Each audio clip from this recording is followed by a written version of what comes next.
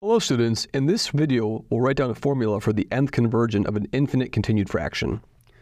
If we're given the continued fraction, given a0 plus 1 over a1 plus 1 over a2 plus 1 over a3 and so on and so on and so on, so if we're given this continued fraction, we of course write this in our notation as a0, a1, a2, a3, and so on forever. Of course, we're interested, of course, in the convergence of this sequence of numbers, okay?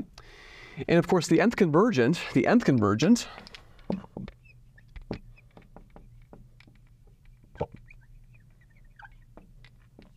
is a0, a1, a2, all the way down to an. And of course, this nth convergence is a rational number. So I'd like to write this as pn over qn, right? Because we of course know that the nth convert, any finite continued fraction is a rational number. And so what we're going to do is we'll write down a formula for these pn and qn. So p0 will simply just be a0 and q0 will be equal to 1. My p1 will be equal to a0, a1 plus 1, and my q1 will be equal to a1. So let's just check. Clearly p0 over q0 gives me a0. That's good. If I have P1 over Q1, that's going to be an A0 because the A1 will cancel here, the A1. And then A1 over A1, which is exactly what we see. So these are the base cases. So in other words, these will satisfy any base case for us in an induction. Those are my base case. And then I'm going to define them recursively as follows. I'm going to say Pn is equal to An Pn minus 1 plus Pn minus 2. And Qn is going to be An Qn minus 1 plus Qn minus 2. For these formulas will be valid for n bigger than or equal to 2. And so we're going to prove these formulas by induction. So we're going to prove by induction, prove these by induction.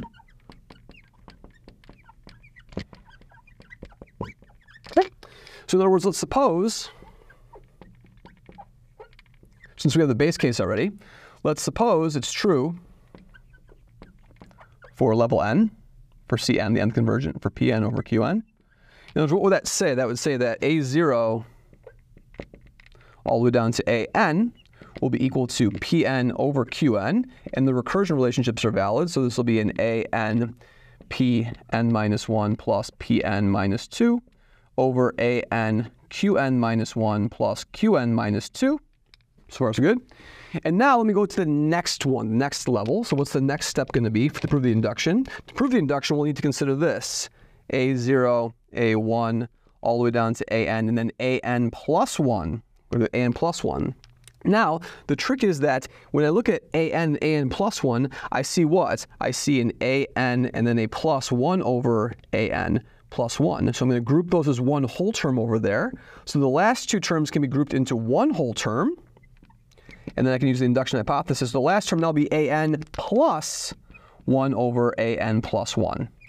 And now I can use the induction hypothesis. This is going to be an plus 1 over an plus 1 times pn um, minus 1 plus pn minus 2 all over an plus 1 over an plus 1 qn minus 1 plus qn minus 2. And then what we'll do is we're going to multiply the top and bottom of this expression over here by an plus 1. And what will we get? So if we do so, we'll have a factor of what? We'll have a um, multiply top and bottom by an plus 1 over an plus 1. And then we're going to have an a n a n plus 1 plus 1 times pn minus 1. And then we're going to have a plus a n plus 1 times pn minus 2 all over what? All over a a n times a n plus 1 plus 1, then a q n minus 1 plus a n plus 1, then a um, q n minus 2. Okay? Now let's carefully look at this over here. So now let's recall, if I wanted to, if I wanted to show this in, was true in general, I would, what would we need? We would need this we need uh, what? Well, according to our recursion, our recursion will tell us what? We have a pn plus 1, for example, will be a an plus 1 pn, and then a plus,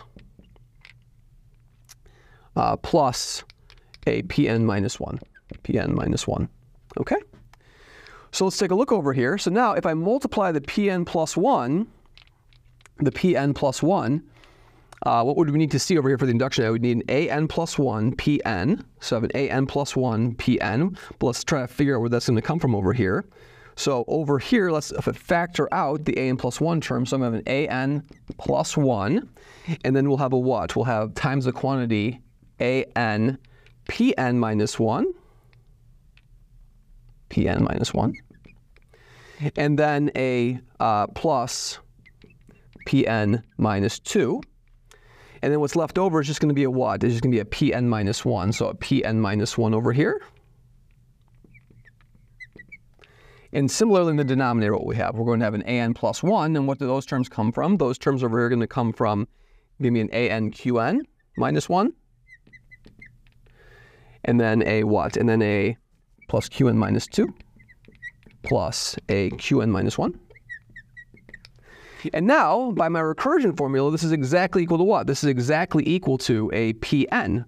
So what I have over here is I'm going to have a An plus 1, An plus 1 Pn plus Pn minus 1 over a what? Over an An plus 1 Qn plus Qn minus 1. And we see what that is exactly equal to. That, by definition, my recursion relationship is Pn plus 1 Pn plus 1 over Qn plus 1, and we've proven our result by induction. So in future videos, we're going to use this recursion relationship in this structure over here to actually prove results about the convergence of this infinite continued fraction. Thank you very much.